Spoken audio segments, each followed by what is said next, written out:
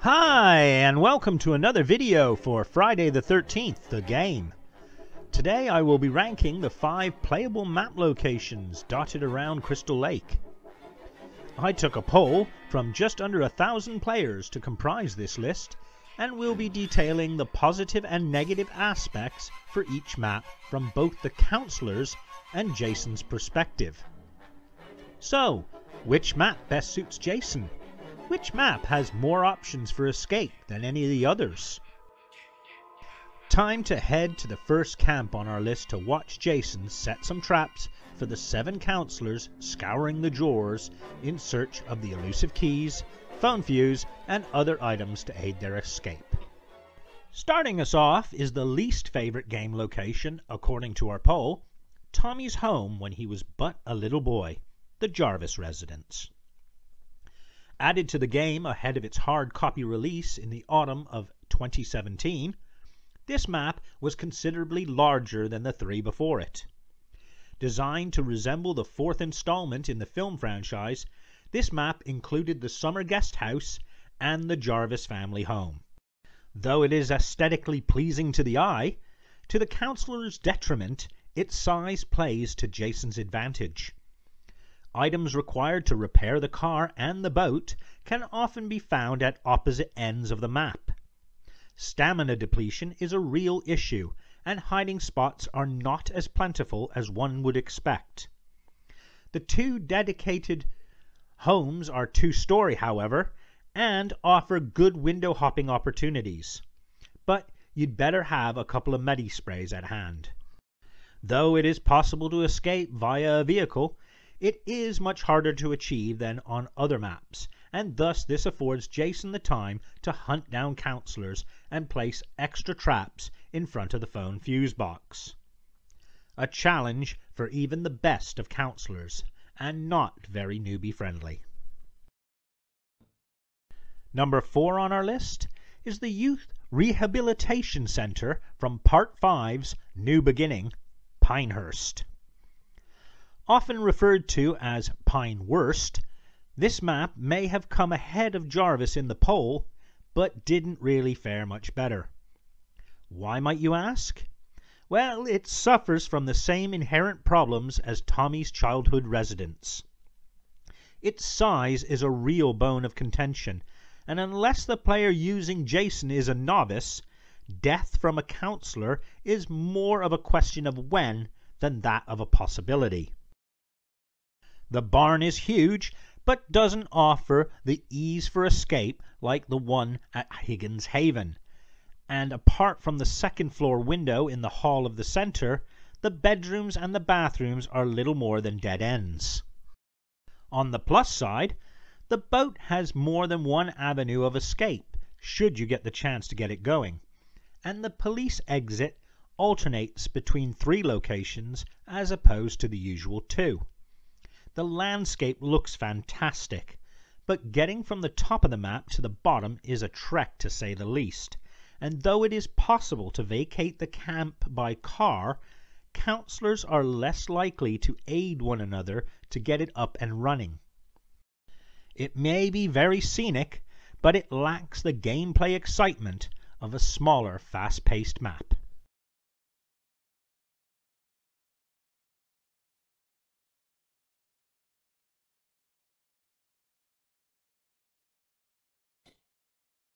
Better than the previous two entries, but not quite as good as the following pair on our list, is Higgins Haven.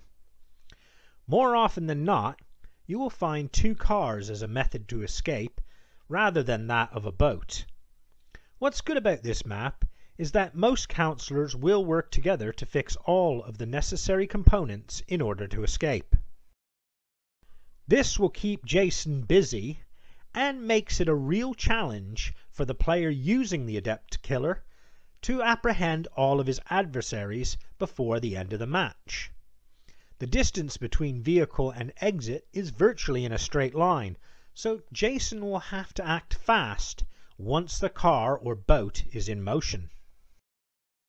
Jason's shack will be located on either the west or east side of the map, giving the players a viable option to turn the tables on their stalker, and the cabins are generally in close proximity to one another, providing the counselors with cover and windows for hopping out of.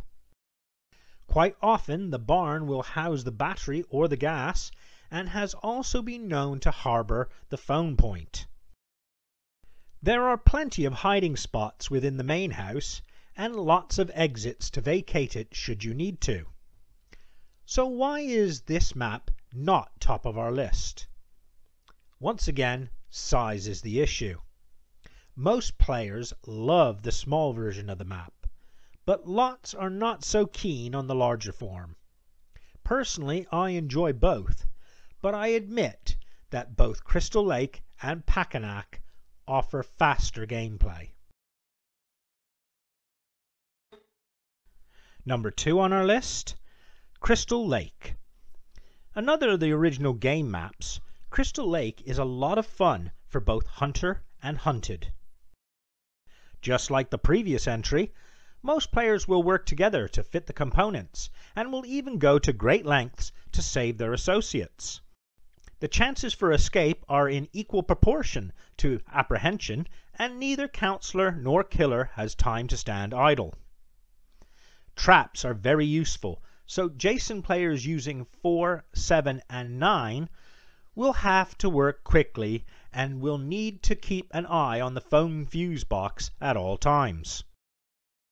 That being said, this is a great map for catching counselors out in the open, and the car works as a great gathering point for slaying several victims in quick succession. However, this is one map where the car works well off-road. The only real downside to this map are its lack of hiding spots. Its map-specific buildings are reflective of the movie, but are all single story and offer easy access for Jason. A great map nonetheless, and only plays second fiddle to the top entry from our poll. When it came to finding a winner for our poll, there was little doubt. Making up almost half of the votes was the Part 2 inspired setting that fits well in every respect. Packanack's layout is very straightforward. The majority of the cabins run along the extent of the main road and are staggered on either side. This makes for excellent window hopping opportunities, and there are plenty of cabinets to search through without having to trek great distances from one to another. It's a real councillor's favorite map. Players work together to get the vehicles going, there are plenty of weapons at hand, few open areas for Jason to take hold of you, and lots of map-specific places to hide.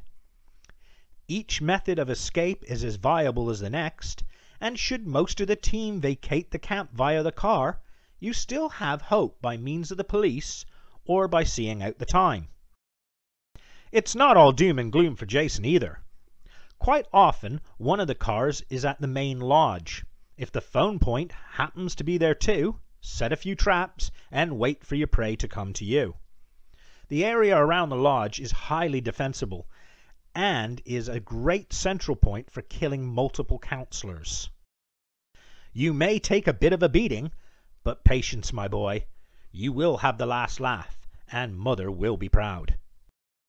A fast-paced map that's fun for all players and truly portrays the essence of the Friday films. So there you have it. I hope you found this video to be both entertaining and informative. Let me know in the comments section if there was something I didn't detail or cover. In the meantime, check out my channel for more Friday the 13th the Game content.